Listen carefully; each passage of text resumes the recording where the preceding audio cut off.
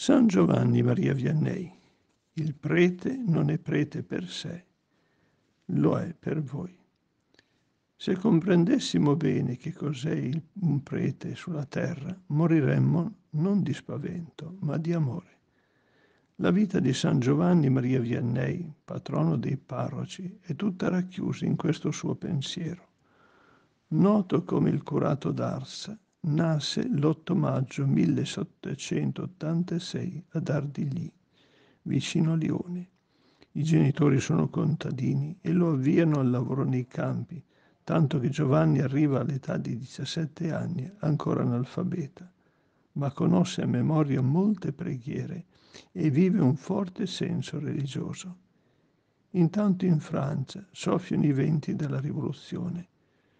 Giovanni si accosta al sacramento della confessione in casa, non in chiesa, grazie a un sacerdote che non ha giurato fedeltà ai rivoluzionari.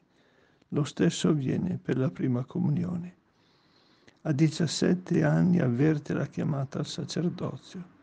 Se fossi prete vorrei conquistare molte anime dice la strada non è facile perché egli ha difficoltà con lo studio e soprattutto con il latino.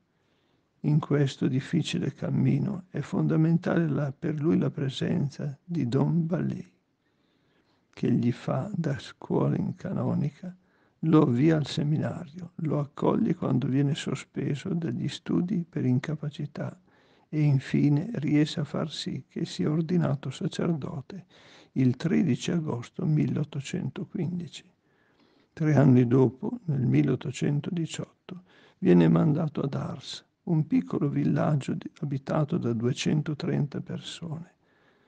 Non c'è molto amor di Dio in quella parrocchia, voi ce ne metterete, gli dice il vescovo mandandolo. Pienamente consapevole deve, che deve dare, che deve, pienamente consapevole che deve andare a incarnare la presenza di Cristo, dedica tutte le sue energie alla cura dei fedeli, fonda un istituto per accogliere gli orfani, visita gli ammalati e va a trovare le famiglie e i contadini nei campi. Ma è nel sacramento della confessione che la missione del curato d'Ars si esprime al meglio, sempre disponibile all'ascolto e al perdono trascorre fino a 16 ore al giorno in confessionale. Giovanni Maria veglia e digiuna, mangia lo stretto necessario, patate lesse scondite, a volte anche ammuffite, e dorme solo tre ore per notte per contribuire all'espiazione dei peccati dei fedeli.